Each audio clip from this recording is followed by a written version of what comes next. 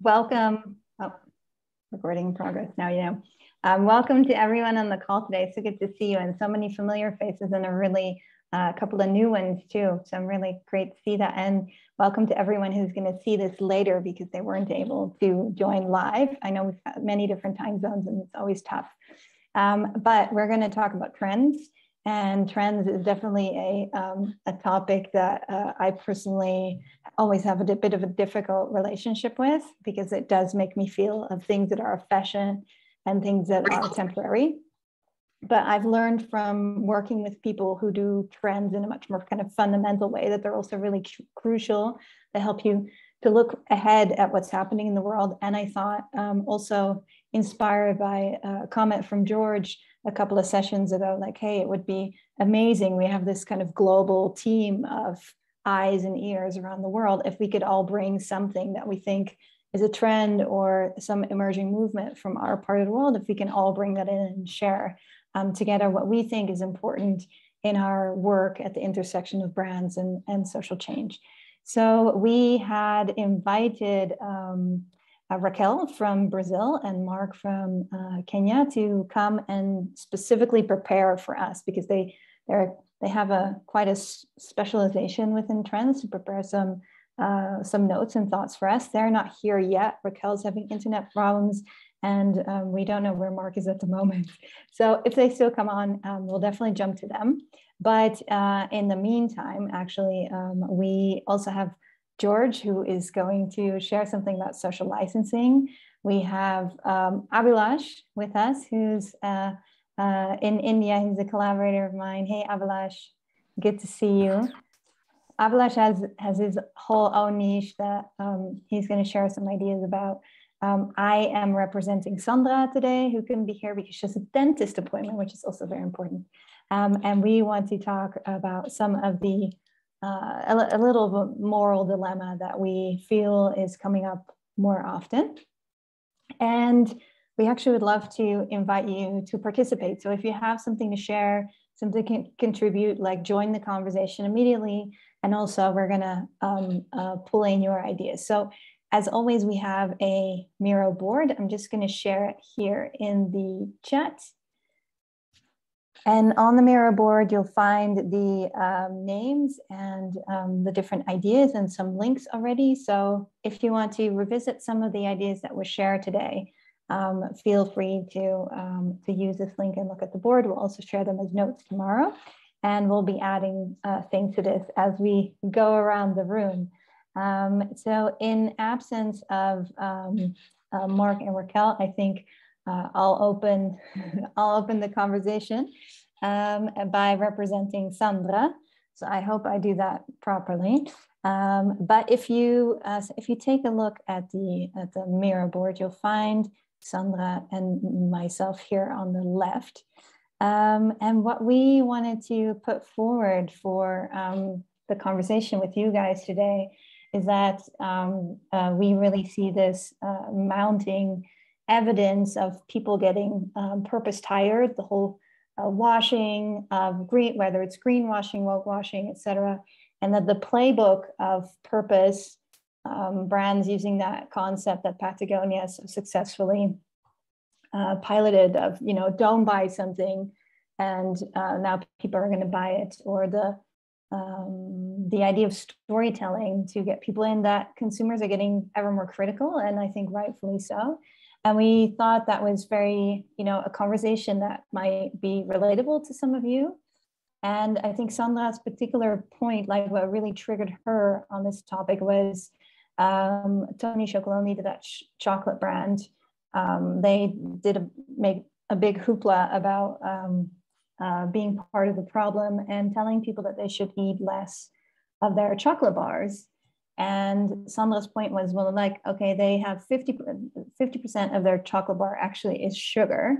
Um, and shouldn't they be doing something about the product itself versus making a big fuss about, um, about this campaign? And we almost felt like um, the world of well, the world of purpose brands and, and impact brands is being really heavily influenced by this because it's starting to become a, starting to feel like a theater, like a theater where things are on display for us and we as the audience are part of the performance and so Sandra and I were discussing, is this something that other people recognize?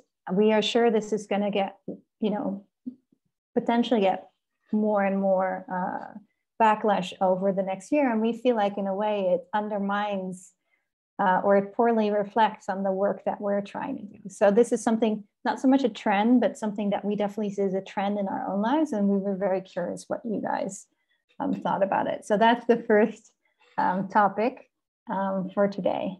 Is there, is there anyone who recognizes that, um, what Sandra and I sketch?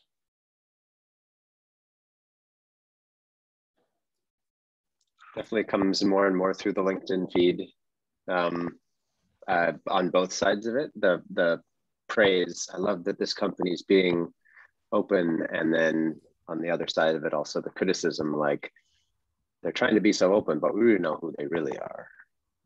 Mm. Um, and do you see that? Do you see that in a network of people who are already on, let's say, working on the impact side, or is that? Do you see that also going more mainstream? Uh, I don't know for sure because I think my mm. my feed is probably filled with people who um, the robots are feeding me what I need to see. um, but I, I, think there's a little bit of both of it because I think the spectrum in, includes the, the, the, the, impact spectrum includes people all the way from one side to the just barely initiated side. And yeah. I'm sure there's some unwilling um, unwillingness there, but I don't know. You feel it, it it's impacting how you think about the brand that you're building, Zaylen?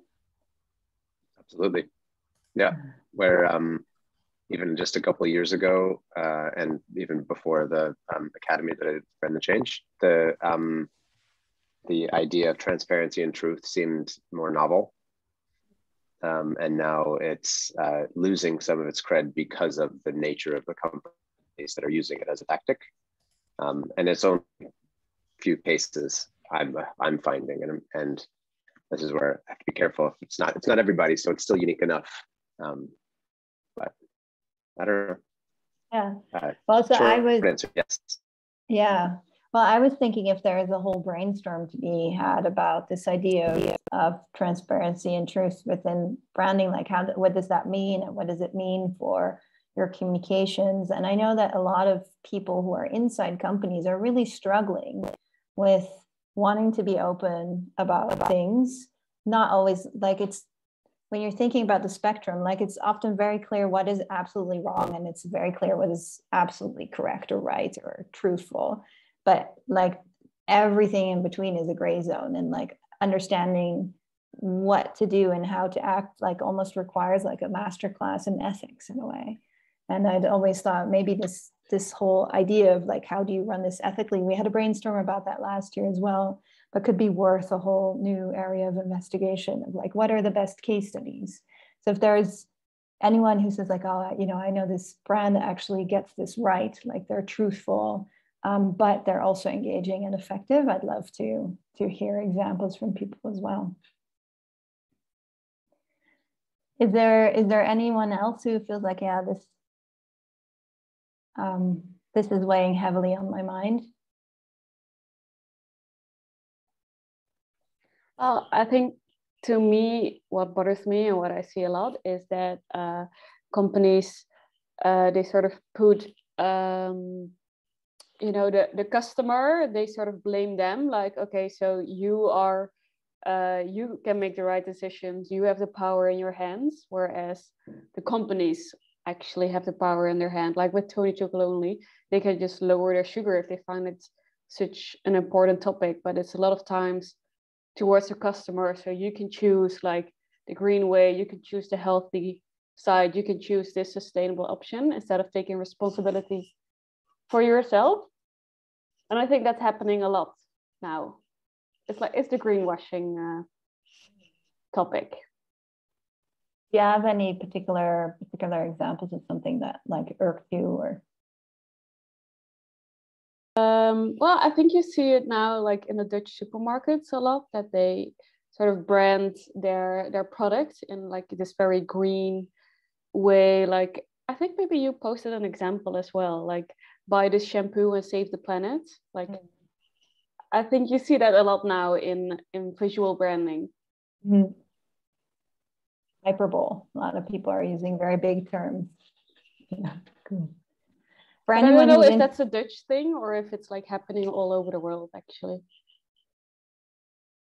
I'm curious, Josa in the in the Philippines is like this. Is the whole purpose thing a thing?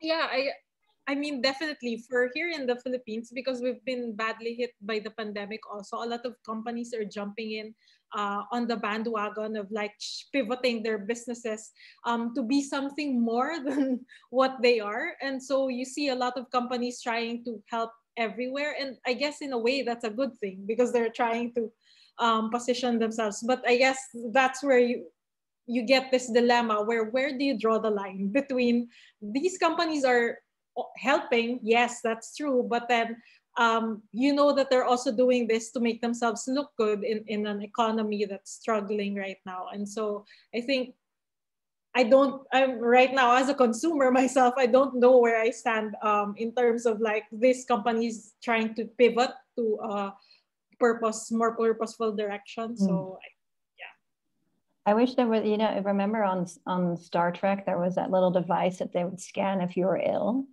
and I want to have this device that I can scan if you actually have good intentions. Like I want to be able to see, like, are you sincere about this? cool. Um, we have uh, we have uh, Mark with us now. Hey, Mark, welcome. So great to see you.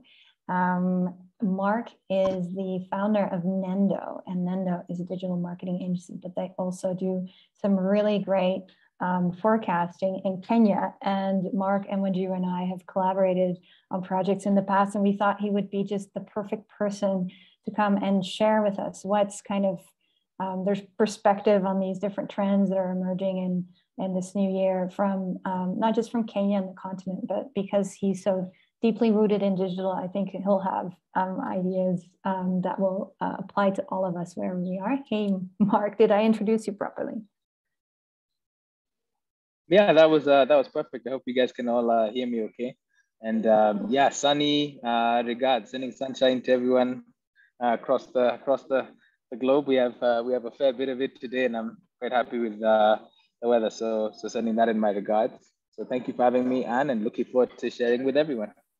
Cool. Well, I, I know a couple of people on this call could really use some rays of sunshine. So um, you're a welcome addition. Uh, so what we're doing, Mark, is we're we we're going around the room. So we have we have six people who um, wanted to get some airtime today, and I know you and Raquel um, prepared um, quite a bit, especially for us. So I wanted to give you about 10 minutes to share what you've prepared for us. And I'm sure there will be people with questions. Are you open to having people interrupt you midway, or would you rather just share what you're saying and have people ask questions afterwards? Yeah, I think uh, I'm, I'm open for people to um, ask me midway. Happy to, to, to take on that, and then uh, I might ask you for a bit of help with um, with uh, with keeping me on time, in case uh, you know, because if people, if people I, are coming. But yeah, I know my Kenyans. I know my Kenyans. Yeah. I know we have a Kenyan and a Brazilian on the call today, so I know my timekeeping uh, skills will be in order. Cool. Uh, yeah, no, go ahead. Um, if you want to uh, share your screen, Mark, you should be able to share the screen for Miro. We can also open it for you. Yeah. Um, I'm, I'm, yeah. Okay. Cool. I was figuring my way around uh, Miro just now, so I will. I will attempt the screen share. Awesome. Um, here we go. Might need a verbal confirmation that you can see my screen. Yes. Awesome. Um, so yeah, I've got a, a, couple of things to share. I'll probably start, I think, on this side and work my way in. So, um, so one of the, the, the first ones is a really interesting question that I got to asking myself um, some some time back. There's a strange thing that you see happening here with Kenya's economy every time it's an election year um, the economy either recedes or you know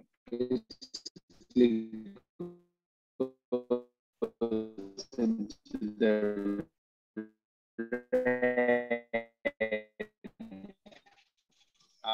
um, in this case scenario, we're just we're just growing by effect, except in this case when the bank situation economy is bouncing back. So you, you run this uh, over a couple um, uh, decades and you see a similar trend. So it's something I was asking.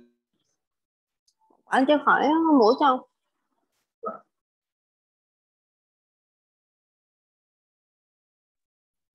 We seem to have lost Mark. Sorry, guys. Yeah, yes, you're back. Yes, I'm. I'm. Yeah, sorry about that. Um, yeah, I'm tethering, and I and I and I just I, I just I was like I just needed to behave, uh, which I think it's good to do now.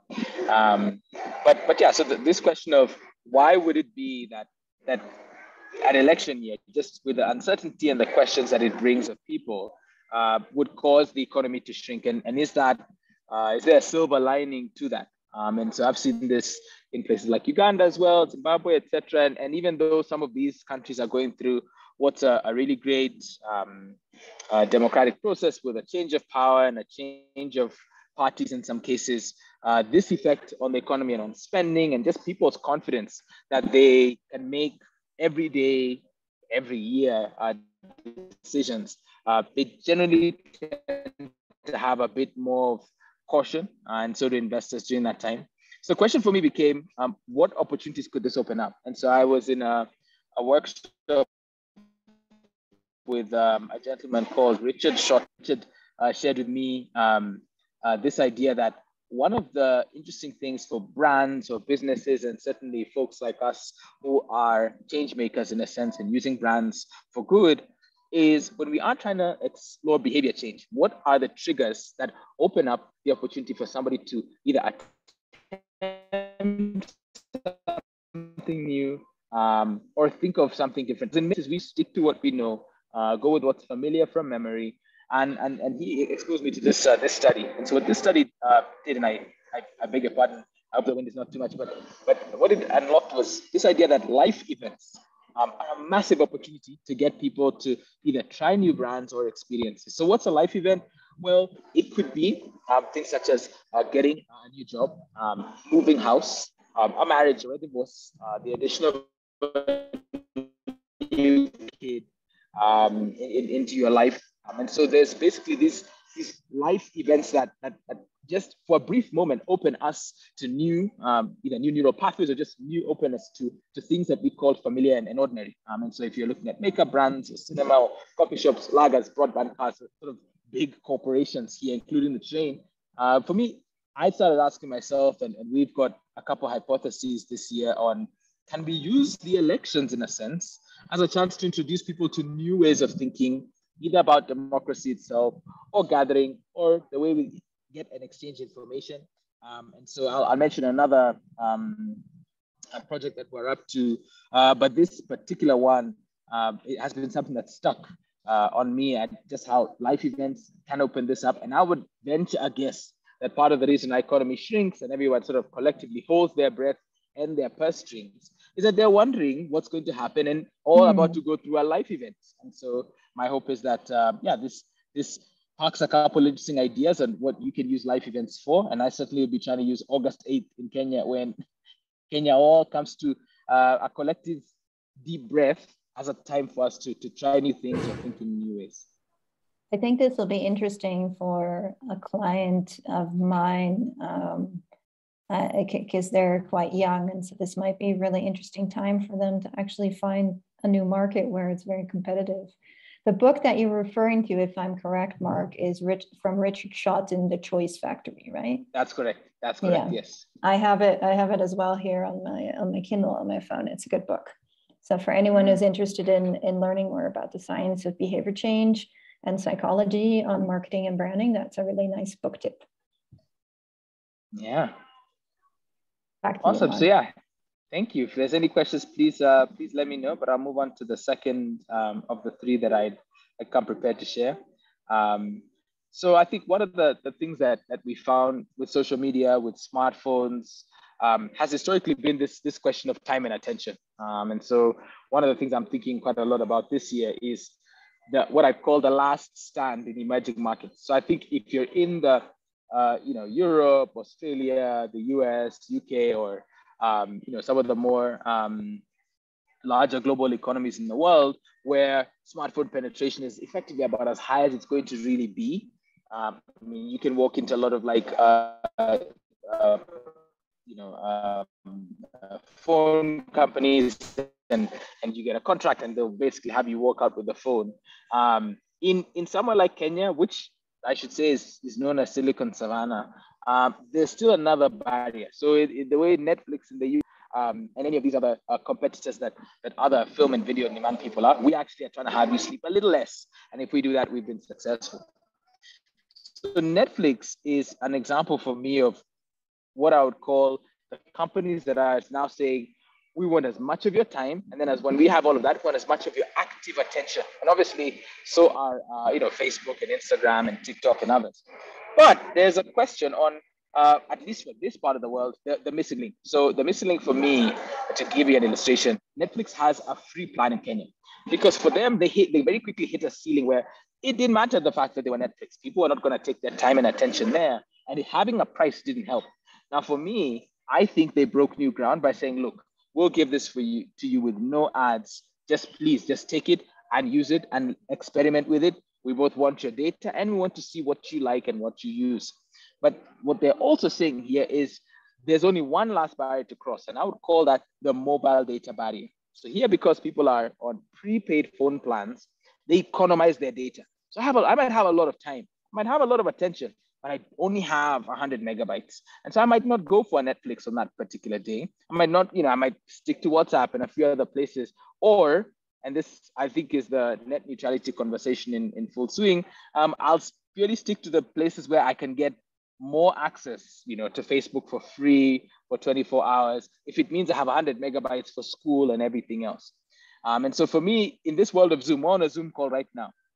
Not sure how many of you know how many hundreds of megabytes a video Zoom call takes, but to me, one of the most interesting um, African companies I came across is uh, this company in South Africa called, um, um, they, well, they, what are they called? They're called, um, uh, I'm thinking of their product. They have a, a, a message messaging app that's free for data, and they have this platform called Vidu.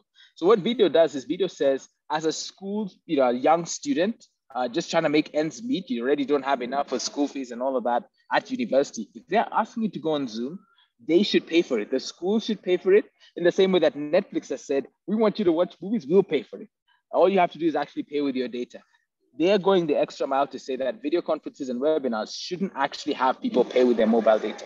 Now, this is in a world where I know many of us are probably dialing in from home on a fixed line connection um, or in a cafe, you've got Wi-Fi. But if people have to stream with their data bundles, I'm actually tethering right now, so I'm on my data bundles right now.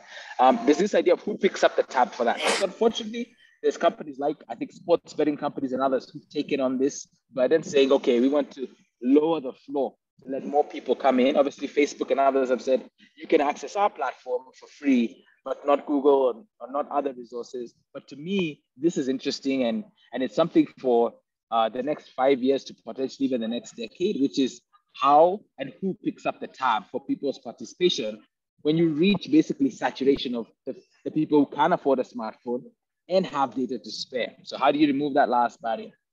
Now, probably my last point on this, um, which is just hopefully to, to shed some light on, on the challenges of getting a smartphone to begin with, much less maintaining it. This here is from the Alliance for Affordable Internet. And they're talking about in many of these countries, how many days would you have to work just to afford a smartphone. Um, and if you look at Sierra Leone, it's almost you know half a well, half a year um, or close to it.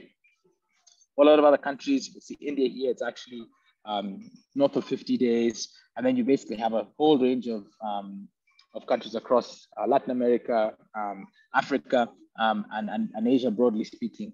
and so, to me, this here just shows the work that's still there yet to be done and the opportunity that's there when we say, okay, smartphones for everyone, it's, it's not always that simple because even just buying the smartphone, much less maintaining it, uh, many people will pay separately for it to be charged. That's there. And then last but not least, another barrier, sadly, is uh, the gender aspect, meaning that there are countries like Kenya, which are known a lot for tech, but you still have women getting arbitrary. Um, if you look at number four here on, on mobile ownership, that sometimes family either doesn't approve or a study came out last year um, uh, from a, a, management consultancy called Dalberg, uh, where they show that, that even girls in school get arbitrary limits imposed on the time that they have with devices, even when they're doing schoolwork. Um, so we still have some ways to go in terms of challenges and barriers that women will face, much less the ones that people with mobile phones would face, smartphones, and then when those smartphones are there, actually having the data. So to me, something I'm watching for is who takes the mantle. And it could be a company as big as Netflix with money to burn to say, we'll pay for the data. Uh, you just come in and use our platform. And of course, there could be problematic aspects to that too. Yeah. Okay, I can see I'm short on time. yeah, yeah. I wonder if um if we can if we can touch upon the misinformation um later in the session if we, sure, if we have sure, a bit sure. of extra. Because Yeah, I also to wanted to give people the chance to be able to maybe ask you a question. If there's anyone who has a question for Mark, was like, hey, I wonder about this or that, or I wonder how this might apply in in my region of the world. Um, uh, we just uh, we shared the link to the book by Richard on the Miro as well as in the chat. And I also wanted to give one other side note. Uh, Mark, you mentioned Dalberg. For those of you who don't know Dalberg, they're kind of like the McKinsey of um, the development sector. So if you're interested in reading up more about reports um, on um, the global south, Dalberg is always a source of, um, of information.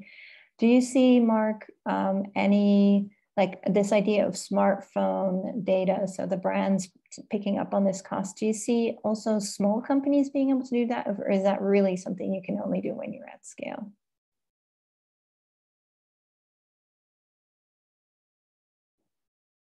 We might have lost Mark. Oops. Wow, it's good evidence of the whole data is very data is important. Um, was there anyone who had questions for Mark? Because I'm also happy to connect you guys after the call. I see in the meantime we've had um, Raquel join. Did she come in? Yes. Yeah. I see Raquel coming in. Hey, Mark, we lost you there for a second. Yeah, sorry about that. That was uh, my mobile data playing trick, tricks on me, ironically. Yeah. Is there anyone with a question for Mark? Otherwise, we'll um, move to Raquel. Okay. Did you hear my question at the end, Mark, about like how would this work for smaller companies, or do you have to be a mammoth to be able to start um, paying for the data of your users? Um, I think it could work for small companies. Some of the ways I've I've uh, I've mentioned this to, to to people before is if you have a mobile app and you are activating sort of physically, um, coming with a little MiFi and, and just allowing people the, the benefit of you know not having to pick up the app on, on sort of their tab um, to register and to start. I've seen that before as a sort of guerrilla marketing tactic and a way to make it almost a concierge experience with the first couple early adopters that I think plays into this uh, even though it might not scale at, at large, but just finding places where that's that barrier is removed for people. I find that can give you great feedback and hopefully get more people to actually follow through on what you're asking them to do, which is to, to explore your digital uh, product or service. So is it um, is it also? I guess it's a very good way of, of obviously marketing and growing growing the user base. So you're basically paying uh, instead of putting the money into advertising, you're you're creating something very uh, alluring because it's because it's free. Do you think these types of um, offers though also rely very heavily on like, yeah, we want your data, um, whereas in particular low income economies, there might be less uh, stringent uh, privacy rules where that is possible, or do you think this could also work in um, places like Europe where where where privacy is really really well guarded? Yeah, I think we, you know, I have aspirations to see, you know, what what Europe's done with GDPR um, and privacy broadly in terms of regulation um, of these large tech tech companies with fines and with actual, you know, having them toe the line, that that would be applied universally. I think the challenge we're seeing now is that, you know, if you are European or based physically in Europe or using a VPN that connects you to there, the rules suddenly apply to you. But if you're not, they sort of, you know, you know, are happy to sort of excuse uh, many of those um, those those rules and and then circumvent them. Um, oops, sorry. Um, so yeah, I think I think uh, there you go, like a bit of data listening into to my to my chat here. So yeah, I'd, Yeah. I'd, I'd say that that for us here, the the privacy thing or the privacy conversation for me, sadly, um, like we wrote a trend report in 2019 about how people use their mobile data, similar to what we said here. I think it's becoming a, a basically a, a wealth and class issue where people who have means will actually be able to afford privacy. um, and people who don't have to trade it even in some cases for loans and for um, and in some cases they're quite happy to do this don't get me wrong. I, they, they, they, their perception is quite different. You could talk to them and they'll be like no this is just what i do because it's their way of seeing the world so they don't know that it could even be any different. Thank you so much mark um, for sharing the points of view. Um, this is a yeah i think we don't hear enough about um, uh, kenyans you know kenya's technology expertise. And um, i certainly always have to um, tell people that this is such an amazing hub for technology. So happy that you're um, the flag bearer for that today. Cool. Um, hopefully we'll be able to hear from you more during the hour. Hey raquel hope you're okay. Um, are you still there?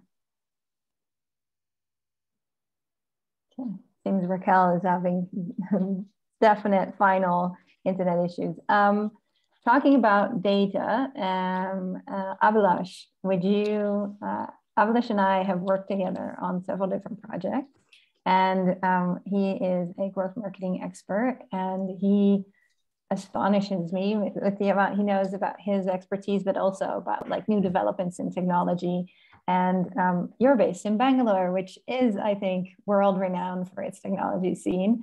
Um, and soon we'll see, and we'll see Kenya up there too. Hey, Abhilash, welcome. Thanks, Anna. Uh, thanks, thanks for the opportunity. Uh, it's uh, really nice. Uh, I've not been active on the community much, but uh, there's really a good chance to basically come in at this point, like talk, talking about trends. Uh, no, we were just now we were talking about data privacy that is something that I uh, have been uh, uh, looking at, and my interest in that space, other than digital marketing, has been consistent, like uh, interest in data analytics and consumer insights.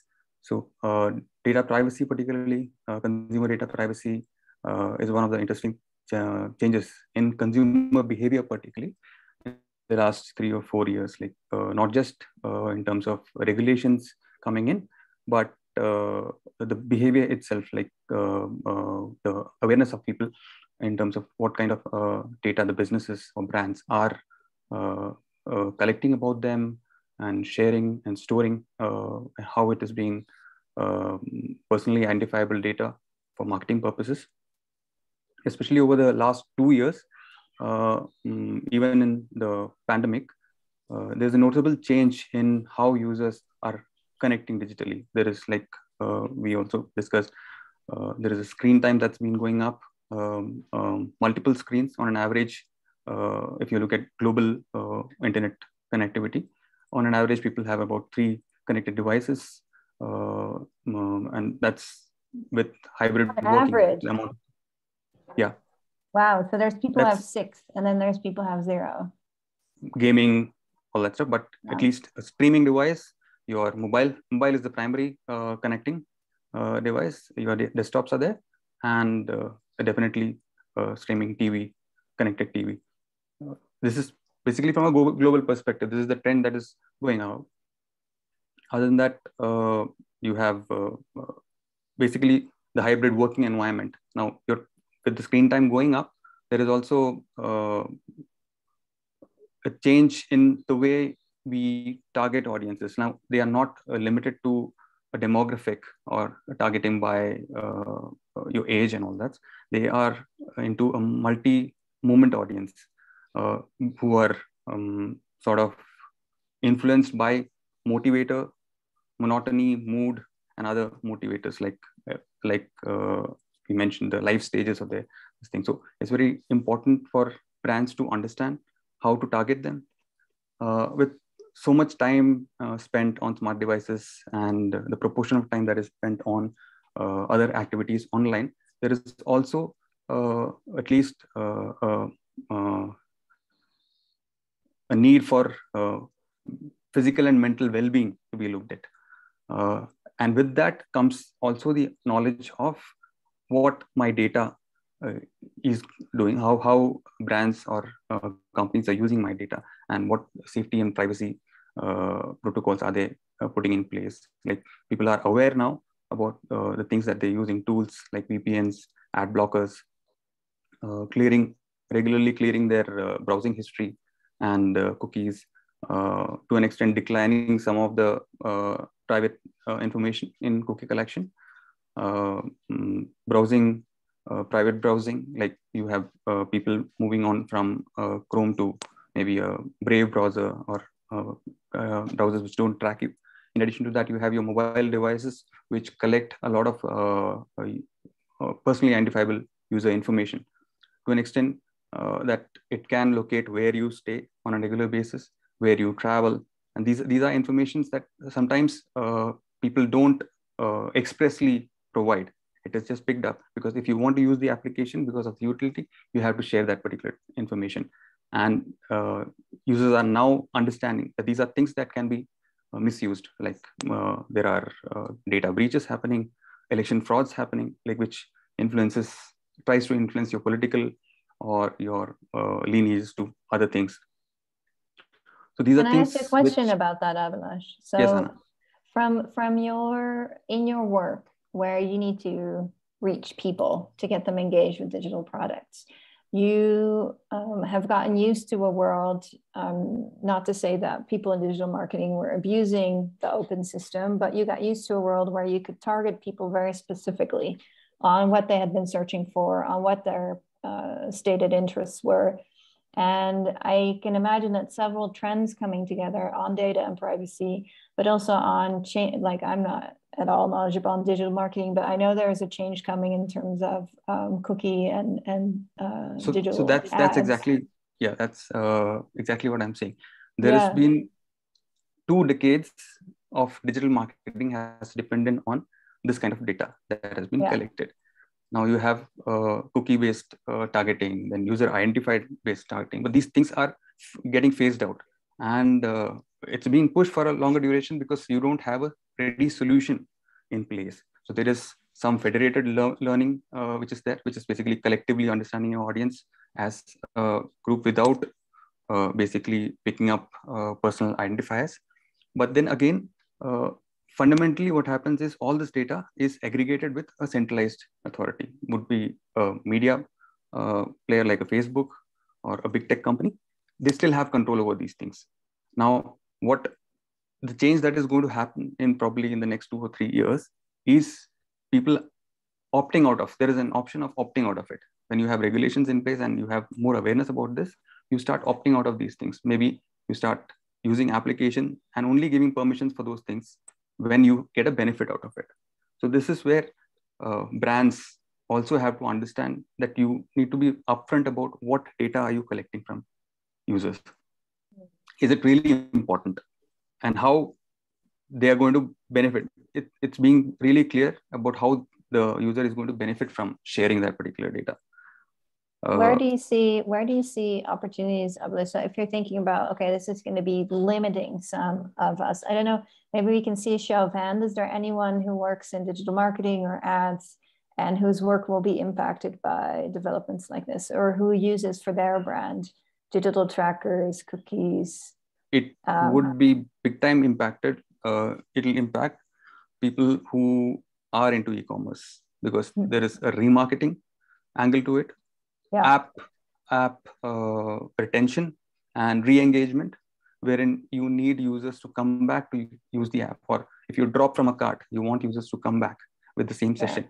So you deep link yeah. it. So these are things which require you to identify users as individuals or as devices. So that apple has at this point basically stopped that idfa and uh, google is going to phase it out in another one year.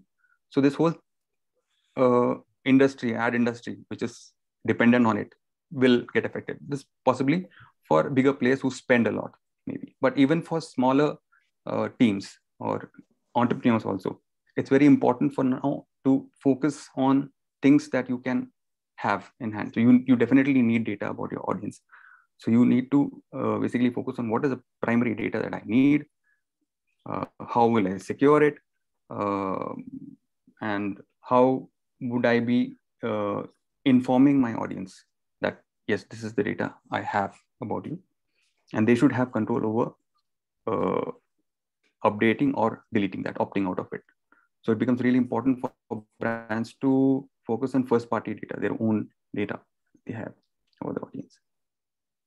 Is there anyone we should follow or anything that we need to read where we can start to get ahead of this and think about like, okay, well, but what are, so this is what's going to limit us, but what are potentially new ideas or um, where we can get some inspiration of, or at least a start in how we might get in front of this. Is there anyone you follow that you're like, oh, everyone I, should follow this person um, because they'll help us to um, find new inroads for our profession? There, there are uh, certain uh, B2B solutions which are being made. Like uh, for paid marketing, you have uh, something called Unified ID 2.0, which is uh, opt-in uh, database kind of a thing, which is managed by multiple advertisers or aggregators who basically validate each and every point of contact with the consumer in a network. So from an advertising point of view, you use this particular product and you are uh, basically safe in using that data in your communication perspective. But from a consumer point of view, if you see, uh, it has to be uh, something where the control goes back to the consumer. Like uh, the consumer has control over his data, and he's able to uh, control what data is being used by uh, the advertiser, and also monetize it. So that that is something. These are certain products that are being developed on blockchain. Uh, and, um, this is really think, uh, thanks for the is, thanks for the warning. Zaylan, go ahead.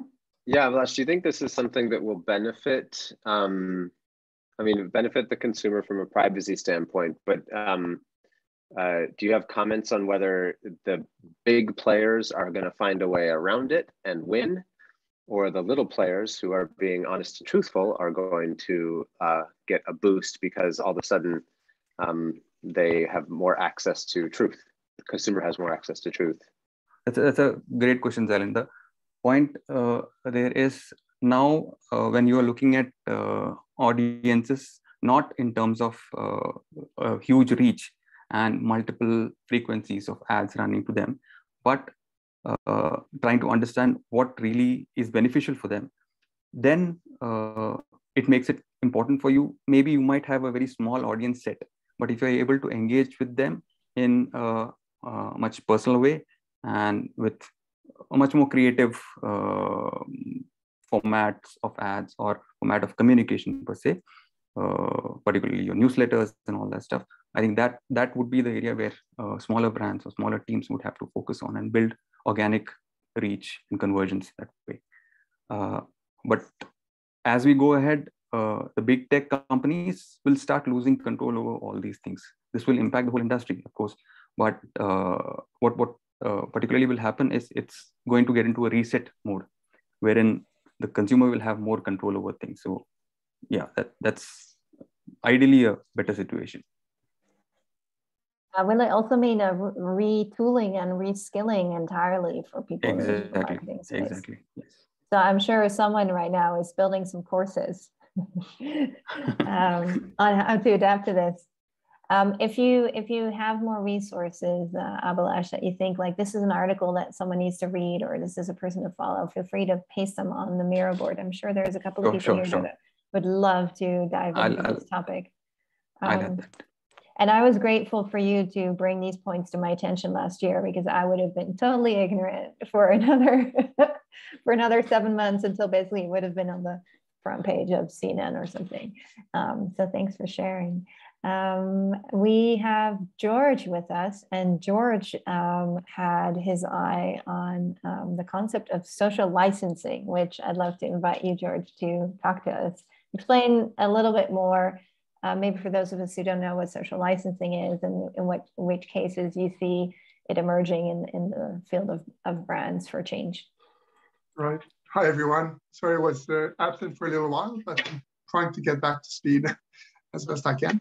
Uh, yeah, I, I had a I listened at the podcast, Save the Planet podcast, and the topic was about uh, greenwashing, social licensing, and, uh, and how how advertising is positioning positioning itself towards social licensing, which I found very interesting. Um, and I find that uh, there's a lot to be done with regards to social licensing. In a nutshell, it's how big corporations license themselves to have a light to have a social driven message when in the when in fact they don't do much about it it's just as a facade that they're exposing their social consciousness consciousness and i find that as a group we're well positioned to attempt to have an impact in that space even if we're in a small in a smaller capacity I think that we can build upon that and have some sort of influence for change. Uh, in having a listen at the podcast, I, I, did share it on the in the group. I don't know if anyone had a listen, uh, but I found that the have it here as well in the chat and on the Miro board. I ah, shared it in the chat and on the Miro board. Yeah. Thank you, because I wasn't able to put it on Miro. I don't know why. I wasn't able to paste it. Um, I think that the narrative is um, a little misleading because it's a situation where it's either we are for or against, let's say, petroleum companies. But we're all a little bit hypocrite about that because we're all consumers of petroleum derivatives. Either we have cars, our screen we're looking at today has some plastic on it. So what the hell are we talking about not wanting to embrace the change for other energy source. Uh, and we have to look at it as a, as a, as a whole, where we're part of the problem, but we're also part of the solution. And I think it's something where we have, there's a balancing point because uh, it can be all very fluffy type of uh, messages. Uh, but at the same time, I think we have to push in that direction and stay positive. And that's, that's the way that we can get some inroads with regards to that. So if I in it, if I bring it back to what was said on the podcast, is either advertising agencies are for mes- creating messages for petroleum companies, or they're not, and they take a strong position on that. And there's different platforms. And I remember last year that you did share a platform. I think it was UK based, where there's some sort of uh, you can sign up to be part of that. Uh, ethical move. yeah the ethical move yeah let me right and there was there were a few that were shared there i just find that petroleum companies have large resources they have human resources that are you know there are youngsters that are in there that are getting more and they're getting i, I would bet uh, sensitive about the whole uh, impact that their their industry is having and so how how can we change like i said change the narrative where yeah, we need petroleum companies to invest in renewed, uh, in green uh, energy sources. It's just to put more focus on that and, and basically to create demand. I think that in the essence, in the messages that they do uh, have in new, uh, new sources of energy, it's, we should, the narrative should be all about creating demand for that source. And the more there's demand for it, the more they're going to invest in it. And so I find that that's where there's a, a great leveraging opportunity. Uh, do so, I do do I understand that part of what you're saying is that there's a lot of focus and energy going towards being against something, but I actually would like to focus on like, but what can we advance that is actually um, uh, sustainable or constructive? And, and while using petroleum companies as a leverage for that change. Mm. And it's not to discard them. First, they have the funds, you know, they have a lot of capital to, to inject. It's just to redirect those funds in a more, more sustainable way. So it's a long battle. And I mean, there's no, uh, there's no, uh, there's a lot of obstacles, definitely. There's going to be a lot of resistance for sure. But I think it's a battle that we don't have much of a choice to uh, embrace. And it's just a, uh, posture, what type of posture we need to take. And I think for my part, I probably taking, uh, talking in a personal level, I think that doing it, doing it the more, try, attempting to do it in more of a pacific way is more, is, uh, has more opportunity to have some impact than trying to create some division, you know. So I think we that, probably have a lot of people in this community who are probably feel um, the same way that you do about like how do we get the, the positive uh, forward more, more. We also, of course, there are a number of activists, and I think people feel that um, you know, we need both. We need to put pressure on the old guard and we need to advance the, the new one. Um, I'm, I'm curious, um, is, is, is there anyone else who uh, sees what, or who else is seeing what George is seeing, which is like there's, um, there's a whole lot of attention being put on pressuring oil companies well, there's not enough necessarily conversation about how we can increase demand for the sustainable side? I, am I'm wondering, have you seen the latest uh, campaign by Shell here in the Netherlands, where they're uh, also uh, trying to position themselves in a sustainable way? Uh, have you seen that? I've not. Um, I've not, it's, but I it, yeah. Yeah. While while you were talking about this subject, I was I was thinking about Shell really because it almost seems, you know, obviously they want to reposition themselves to be more sustainable, more, uh, you know, en- environmental friendly. But how can they really? Because really, they they've done so many things that it, it seems like almost impossible. I mean, obviously for for Tony Tony Chocolonely to kind of reframe, um, you know, their purpose that that was like somewhat doable, I guess. But for for like a company like like Shell, it, it seems to be an impossible task really. So how would you go about doing that?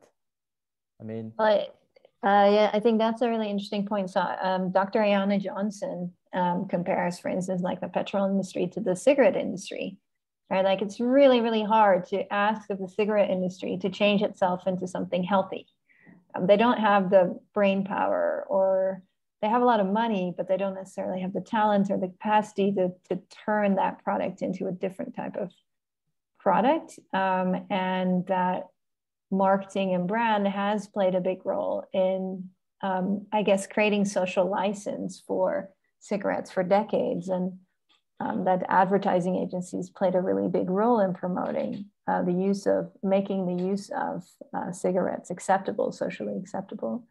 They were and making so, a lot of uh, in the podcast, they were making a lot of parallels with the uh, tobacco industry and yeah. how and how um, uh, regulators and in the U.S. are are putting petroleum companies under the gun. They're really taking a lot of. There's a lot of pressure, legal actions that are taking place. So they're definitely feeling heat under the collar right now. Mm. I, I, think to to your point, I'm sorry, um, Mart- Martin, I think um, it's the position I think is if, if petroleums were to consider their position as energy companies and not petroleum companies, we would already be in some sort of a regenerative mode with regard to the damage that they're that they're creating. Another thought I had, an idea I, I thought is they're investing minute amounts of dollars, advertising dollars in greenwashing efforts or social licensing efforts. So the the, the ratio is, is disconnected. If, we, if for every dollar that they're investing, advertising dollars that are putting in social, uh, social uh, messages, they were, they were to invest 10 times or 20 times in green, uh, greener uh, uh, solutions, well, then it would start to make sense. But if you're, you're looking at their, their you're either looking at what they're creating, what they're making available publicly, and you know they're mostly public companies, so so some figures are available. Uh, it doesn't it doesn't make sense. They're investing for every dollar that they're investing, they're they're probably putting ten cents on green. So, but if if if we say as an industry, we always fight for a ratio of let's say twenty percent of twenty percent of revenue against on advertising well, the same the same logic should hold for for those advertising dollars that are putting on social driven, socially driven messages. So that's the type of thing I'm type of thing I'm thinking on how we create parameters so that it starts making sense, and so that and we we uh, embrace the efforts that are being made as long as those parameters are being met. And obviously, it has to be synchronized with all other elements that they're they're doing, including the regulations that are taking that are taking shape and how we get involved with the regula- regulatory uh, instances. So uh, it's a little uh, all over the place, but I'm, I'm trying to be as uh, you know. No, but I appreciate that you're sharing this thought actually as these thoughts are developing, right? Because I think these are such huge topics that we're all trying to get our heads around. And it almost requires like a master degree in philosophy and ethics sometimes to understand what you like, what direction or what you need to think about these things. And I like the, the way I tend to look at changes. I used to be very much on the activist side and saw like, okay, well, not all of that is working. Um, because it's just against something, but it's not advancing the alternative. And then I switched to the entire other side, saying we only need to um, go for the first. But actually, I'm for those of you who are interested, another another book tip today.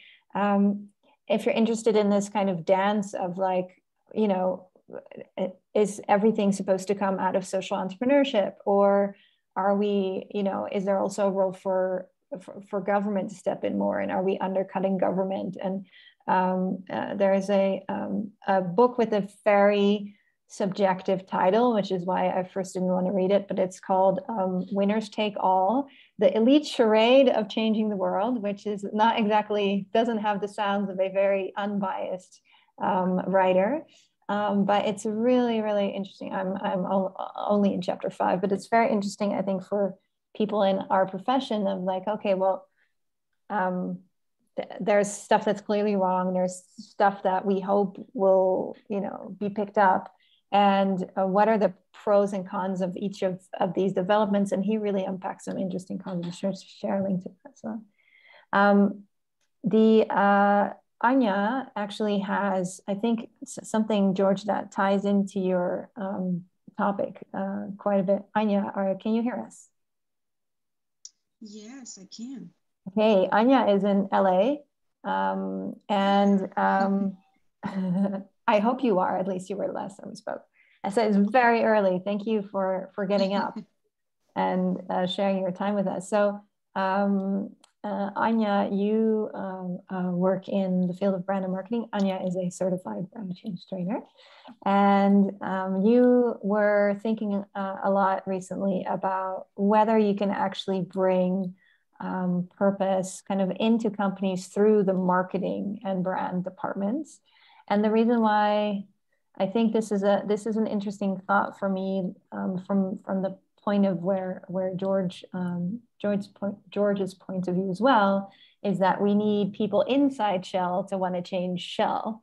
And um, where could those kind of entrepreneurs and change makers within companies, where could they start? And I was, um, I was, yeah, I'm going to give you the floor to, to share your perspective from where you're sitting um, of um, what you see happening in 2022.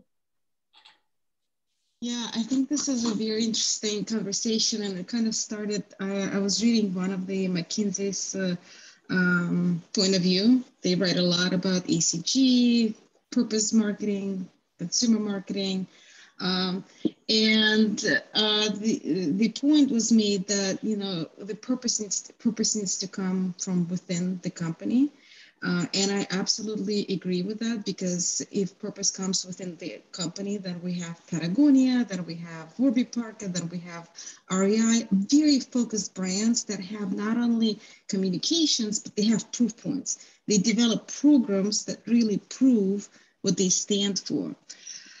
So, but I think on the other side, which is absolutely great, but I think on the other side, if purpose starts with marketing or advertising, I think it is also possible because then, um,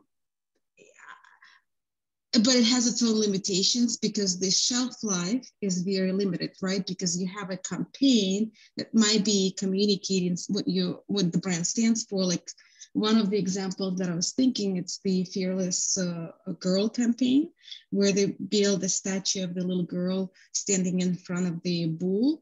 Uh, but it was done in New York to really kind of uh, manifest. It was done for an investing company, and the whole purpose was to communicate the equality and rights and equal pay for women, and that they can stand up to something as strong as the investment in industry. And that was done specifically by a marketing campaign. By uh, it was a marketing campaign that done by an advertising agency, and they actually that company they ended up as I was looking into them, they ended up paying.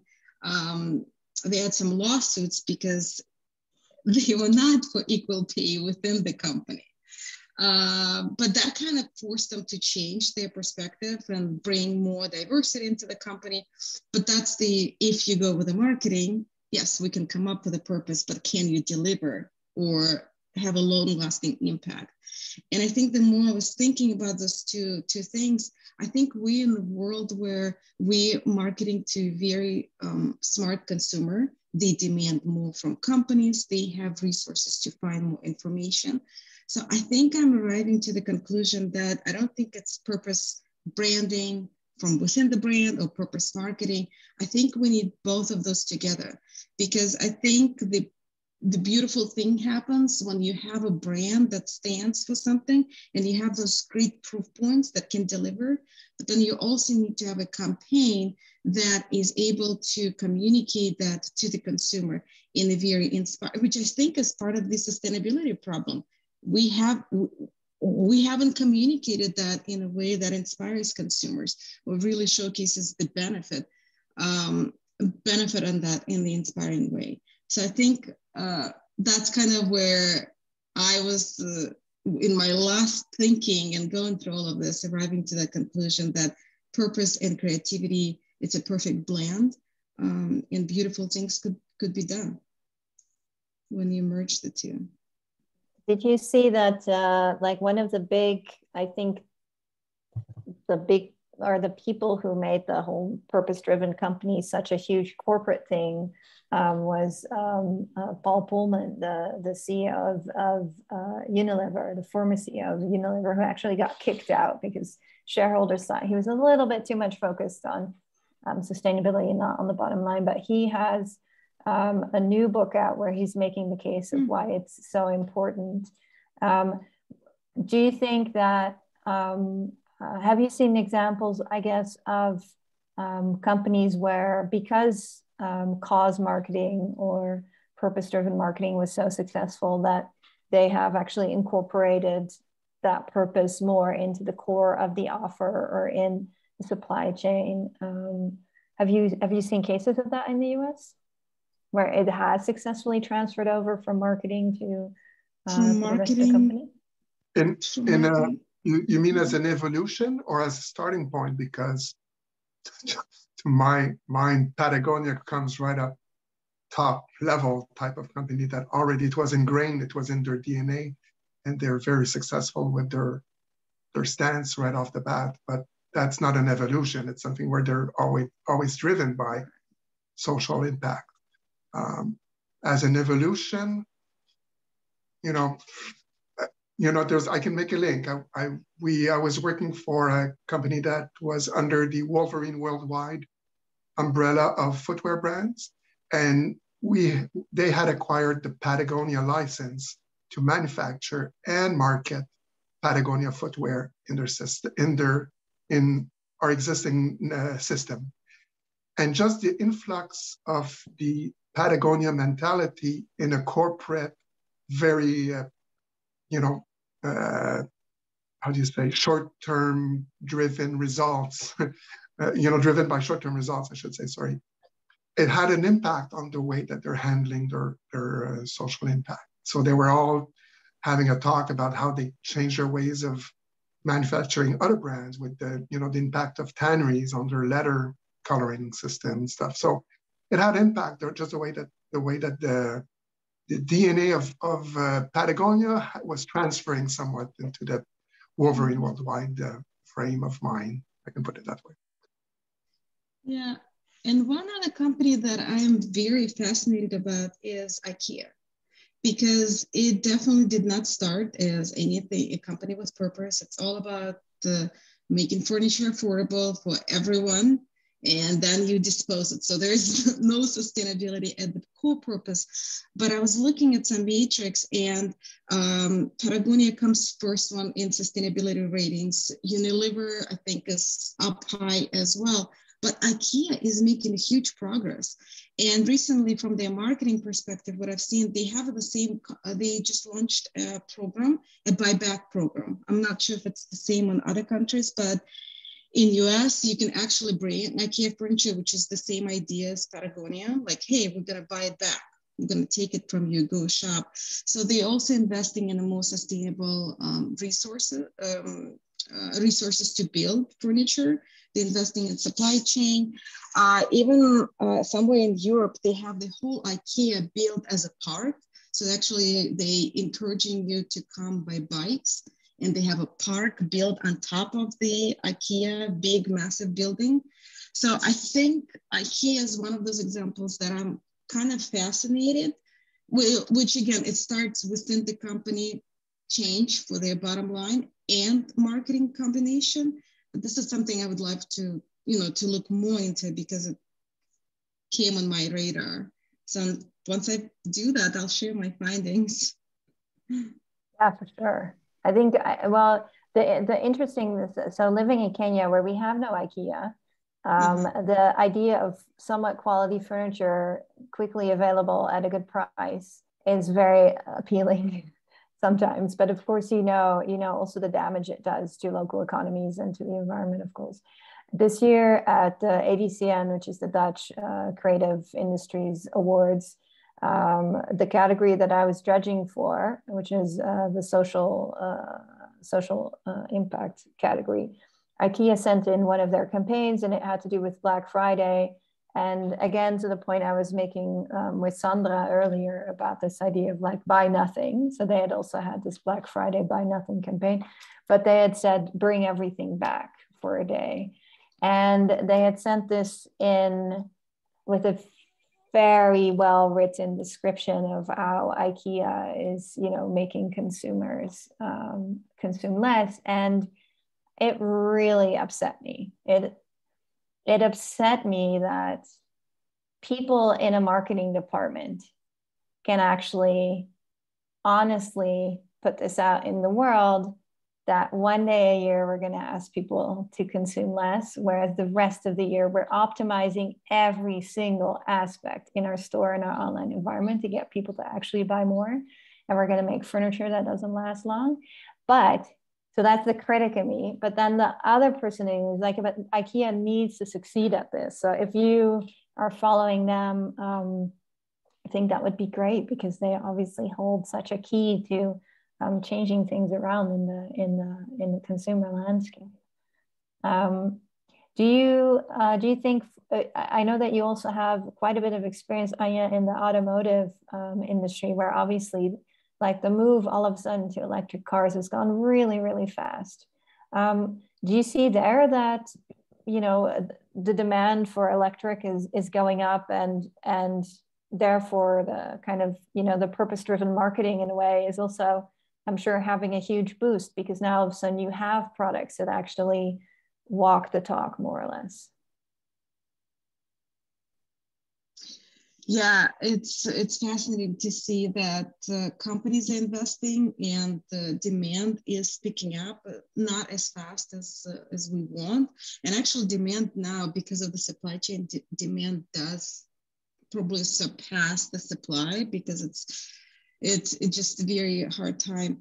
Um, but it's interesting. I think, you know, when I start looking at the purpose space and I was like, oh my God, companies, they have to talk about the good that they do. But that's not how consumers operate. And even in the automotive space, I was so excited when I started working on electric cars. And I was like, oh my God, this is my chance for carbon neutrality, sustainability messages. But it doesn't matter because think about Tesla. That's not what Tesla did. Tesla just like excited people, created this, uh, you know, not fiasco, but they really capitalized on those more external things that people values that people have status innovation and all of that stuff so i think with uh, with that i think we're going to see companies putting purpose in into place but I don't think we're going to see that marketing all of a sudden is going to change. I think we're still going to be talking because another thing is for electric cars, it has to benefit your overall brand. If your brand was for full performance, yes, you have to change your supply, you're changing your product, but are you really going to change your communication? Probably not, because you're trying to build on the foundation that you have established. But I think internally, we're going to see some changes made in, in companies as well. Plus, I think some stories are going to come through, but it might not be your broadcast story. We have some other different channels, um, you know, to, to push all of those feel good stories. The, um, I, I, I can add, sorry, sorry I, I, can add to Anya's uh, intervention that in a podcast there was quite a bit on GM and how GM positioned themselves with a greener message in the electric car, electric car effort. And also uh, there were there was something about the Super Bowl ad that they created using uh, some spokesperson, I forget the name, but it was very in, very uh, powerful and impactful. But it was it's a bit of a case of a chicken and the egg where they need the grid, the electric grid, for it to take place before they invest themselves massively into mm. Creating that demand. You know, it's a little bit of that balance act, balancing act I was talking about, about earlier. It's a tough, it's a tough call, but uh, something that it has to, uh, I think it has to be gained uh, with a certain evolution curve, and it can't try. We can't attempt to do the whole the whole bit in, in so rapidly. It takes quite a while for it to to take to to take place. But it was a very interesting piece on the podcast. I really encourage everyone to to have a listen at it. Something like an hour long. It's not that long. Well, I think all of the How to Save a Planet episodes are uh, are really really impressive. Yeah, they're pretty good. Yeah.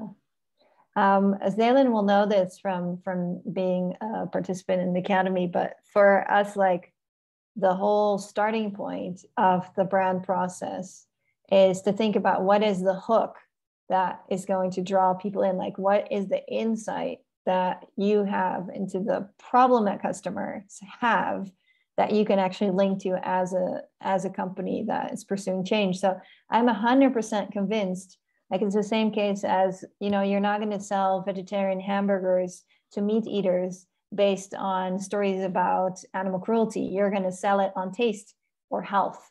And the same with, with electric vehicles, Tesla sold it by making those vehicles is super sexy. Like you're just the man or the woman driving up with that car in front of a bar um, or at a, you know, a party. Um, and I, I, I just put a link to um, uh, article I, I think I already or piece I wrote six years ago. But for instance, there's there's a couple of different ways that you can think about like how can we position these initiatives in a less straightforward way. So for instance, there's very few people in the organic food space who differentiate on price.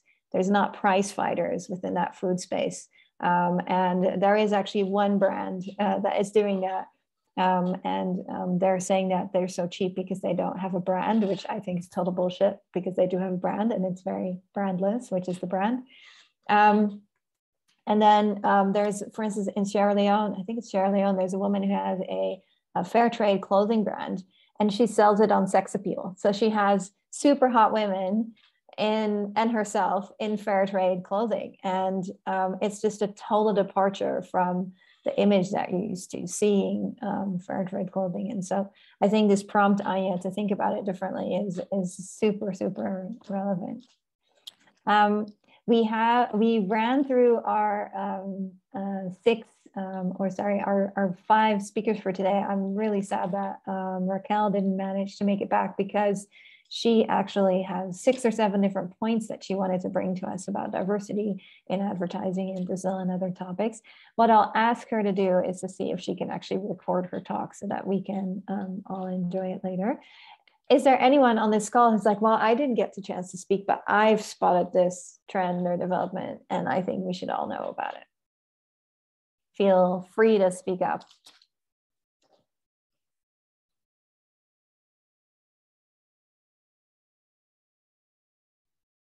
Oh, I uh, I might have one.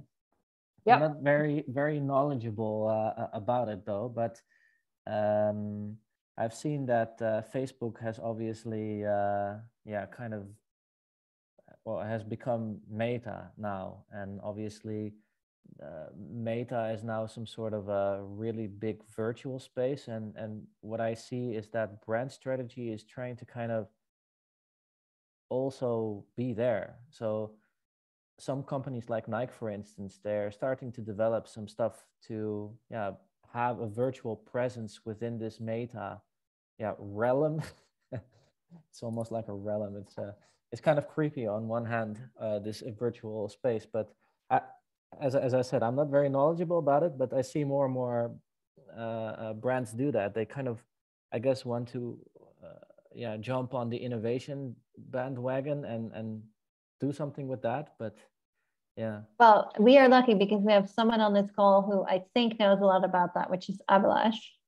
Abhilash has been diving into NFTs, and so is there anything so, about what Martin is saying because I think you shared a link to a product by Adidas that's going to be launched in the metaverse uh, just yesterday with me.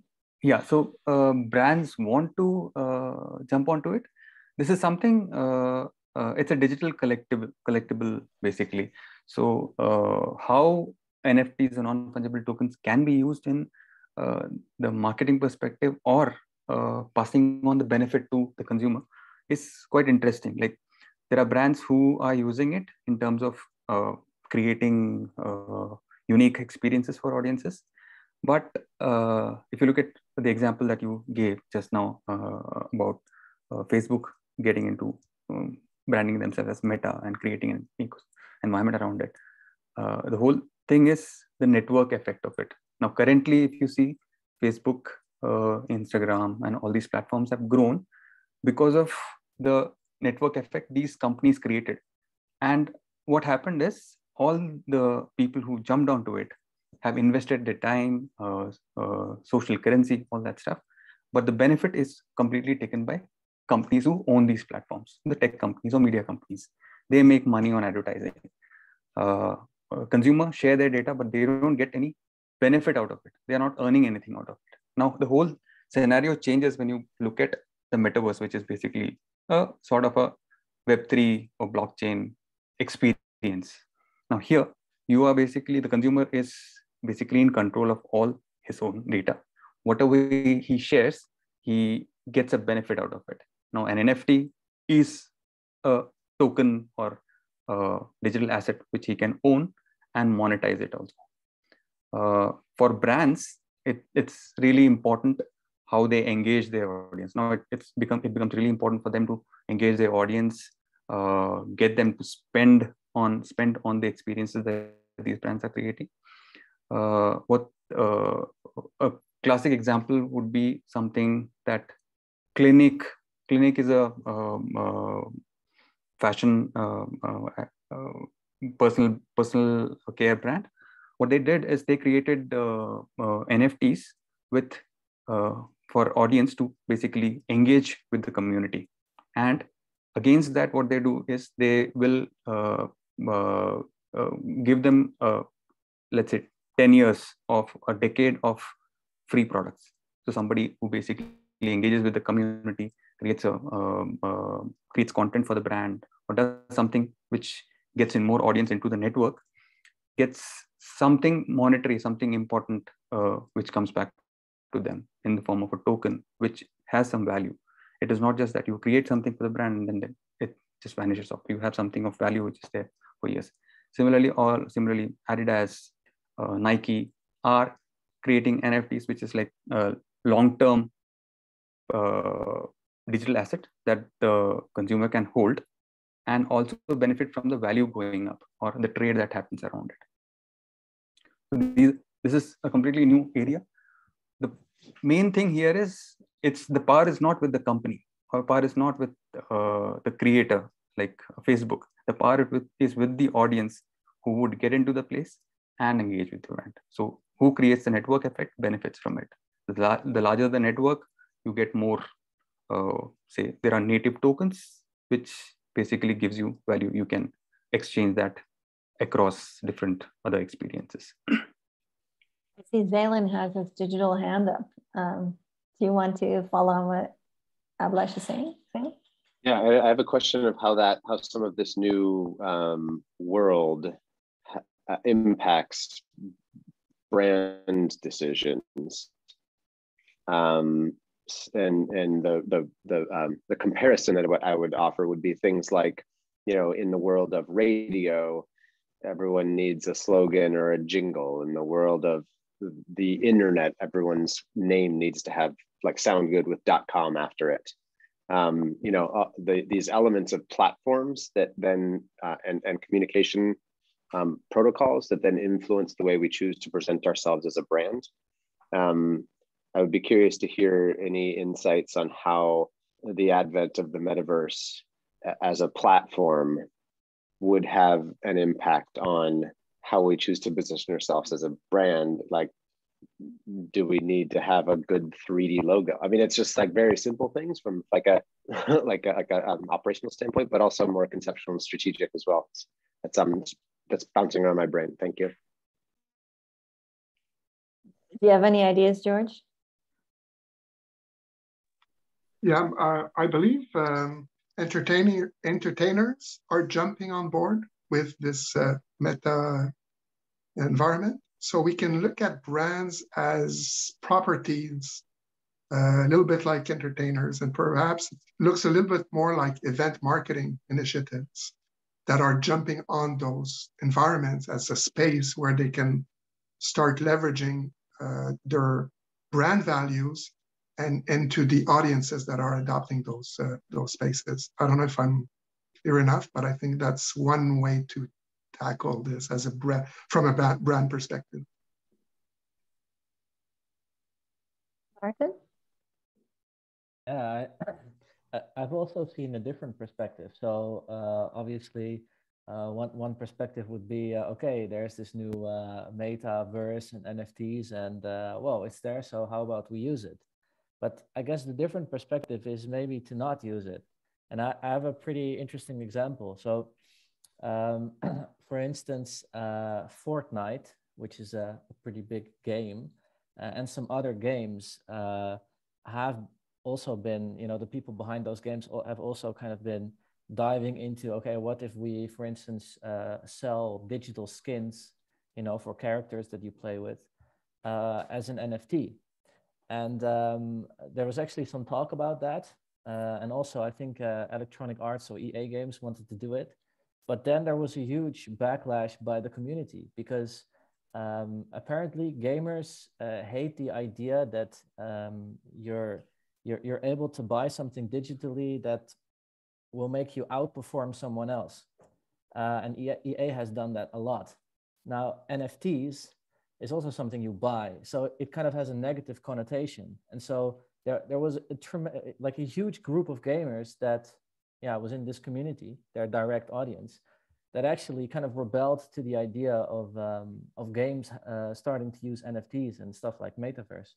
So I was wondering, like, uh, it does sound nice, and it sounds like proper innovation, but I guess for some industries it can be a pitfall as well, right? yeah, I think Martin, what you're saying is uh, true. If uh, the benefit that you get by buying uh, the loot cases or NFT, whatever you call it, uh, gives you uh, uh, an unequal advantage in jumping scales. But if you flip it around and say that because of certain efforts or certain things that you've done in a community kind of a game, wherein you're playing with multiple people and uh, you've basically gotten more people into the game and uh, in a combined way you've crossed certain stages. And then as a group you earn something out of it. Now this particular thing could be a token could be nft could be some currencies which you can you own it because that's basically uh, as a, there's something called smart contract which basically gives it to your wallet. Now using this wallet you can take it out you can monetize it you can buy some other things outside this particular game. So it is not owned by the gaming company which is giving you this thing. It is basically owned by you and you take it out of this environment. It is interoperable in some other experience. You go into some other game and you can trade it there or some other platform like OpenSea and trade it there and make money out of it. Uh, one of something else which is basically coming up in the gaming space is play to earn. uh, this fundamentally it's a do good kind of a thing that uh, developers are doing. Uh, coming up with projects where you you uh, enter a particular gaming space you uh, spend more time into it and you earn tokens out of it which you can monetize and convert into fiat currency. Buy things like there is something called Axie Infinity, Infinity, which is a game which is widely played, which is widely played in uh, Indonesia, I think, or Philippines, where people who could not earn during the pandemic, they played the game and got the token which they could convert into the fiat currency. So it basically, uh, the technology allows you to remove a lot of things which currently uh, stop you from uh, earning money or earning value for your effort in a particular community. you know of any brands, um, to Zaylin's question, that you think are already thinking about like what to do with their brand assets or like who are kind of getting ready um, for that like that someone like Zaylin who's thinking about, oh, do I need to anticipate on this might that he might learn from? I think a lot of uh, uh, luxury brands uh, who are into fashion space or um, like I think Chanel and these kind of brands, they are exploring this in a big way because uh, they might come out with a very limited edition, edition kind of uh, product line. And then auction form of NFT, which basically is owned by the user, buys it, and, and it goes on for a number of years. Or uh, music artists or music labels are basically using this space. Hmm. That's uh, I'll keep an eye out, Zaylin. I think that's a super, it's a super interesting question. Um, we're at the end of the 90 minutes, but George, do you have some final thoughts or a final a final thought? Well, a final thought? Well, like let's say whatever Right. comes. I'll leave you the final thought, but it, what pops to mind, it, it, I have few relations relationships with blockchain for some reason, where it's like there's some sort of intangible, uh, something that's hard to come to grasp with. And also the other thought I had is like the market bell shape, where we're in the early adopter or innovator stage, and it's hard to see where there's some traction from brands right now. There's going to be some innovative innovator brands. I think that it, it's our responsibility to have this on our radar, you know, and yeah, that's where I'm at. Yeah, I guess I guess a lot of people are going to be dipping their toes and experimenting with this, um, and seeing like not making too big of an investment, thinking that this might all blow over. Um, I, I remember a big deal being made about Second Life. When was that? we all had to be on, and every brand was in second, or every you know, um, what was the uh, what was the radio the the audio app that last year like all of a sudden everyone had the clubhouse, everyone had to be there, and then um, you know thanks everyone for for joining today. It was so fun. And i have to say this is the only session we've ever had where we've ended up with all guys. So applause for the men today. It was a uh, you have managed to for the first time in brand the change history you've managed to outperform the women in terms of staying to the end. Uh, i really really appreciate it. We need more men. We have actually a diversity problem. Uh, we have too few men um, who we need male voices so I hope you all um, feel welcome to contribute. Uh, the special first and thanks- last time I want to hear that. Oh wow, yeah. yeah. Um, but thanks so much for for all of you for coming and contributing. You all contribute in ways by giving, uh, by asking questions, by sharing remarks. Um, I'm going to um, share the recording uh, tomorrow, and we're going to share the Miro link. And I'll also make sure to make a couple of introductions and ties. Uh, Mark, whenever Nendo puts out a new report, we'd be we- we'd be very happy to share it uh, on your behalf. And uh, I the session. I'm going to look more into some of the questions that you had. And congrats on the kits, really. I have to say it. I don't know if everyone is in on it or in the facilitator program, but uh, I wanted to ah, say the it out new there. the new the new trainers kit is out. Yeah. Yeah. Yeah, congrats. Yeah, Oh, and thank also, you. I uh, appreciate it. also, also, congrats on uh, yeah establishing new uh, visual identity. Looks uh, looks nice. Thank you. That's nice coming from a designer. we it's funny, it's like the last thing we think about, you know, at the plumber's house, etc. So thank you guys. Yeah, it was a very special one for me. Bye everyone. Bye. Bye, Bye everyone. Thank you. Thanks everyone. Bye. Bye.